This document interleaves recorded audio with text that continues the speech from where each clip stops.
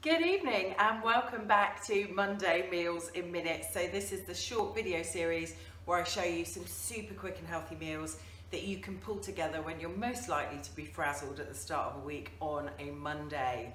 So tonight I'm going to show you one of my absolute favourites and it's been a go-to of mine for years and it is sticky stir-fry salmon. I love Southeast Asian flavours so this one has always been a winner for me. And it's probably the simplest dish that I'm going to show you in this series. So listen up. Today what I've done is I just this morning popped in some nice um, salmon steaks into the fridge in a marinade. And all the marinade is is a nice sweet chili sauce that you can buy at most supermarkets. And I've also popped in some teriyaki sauce as well. And I've left that marinating today. Now you could just prep that in the morning before you go to work whack some cling film on it and pop it in the fridge then I've just taken it out and it's just been sat here for a little while so it comes to room temperature. All I'm going to do with that is wrap it in some foil and I'm going to pop it in the oven on a 190 for about 18 minutes, depending on how good your oven is. 18 to 20 minutes normally cooks that beautifully.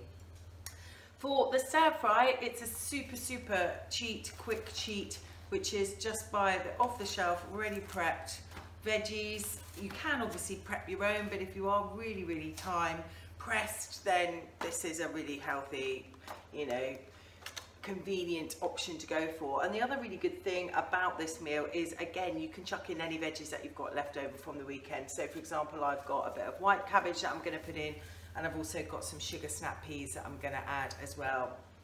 I always like to give my stir fry some depth of flavour so I always um, invest in some nice fresh root ginger, um, some nice fresh garlic and I chop up some fresh coriander just to give it a really nice base of flavours and I tend to cook mine off in a bit of coconut oil so I've just got the rock wok on standby.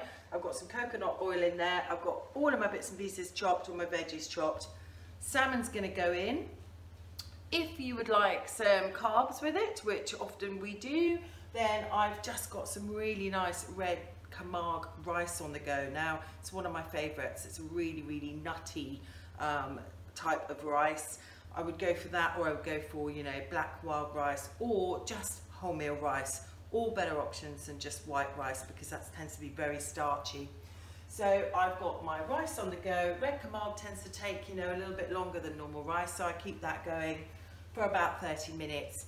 The salmon's gonna take 20 minutes and then once the salmon's been in for about 15 minutes, I then pop on my stir fry vegetables, bring it all together and it's absolutely yummy.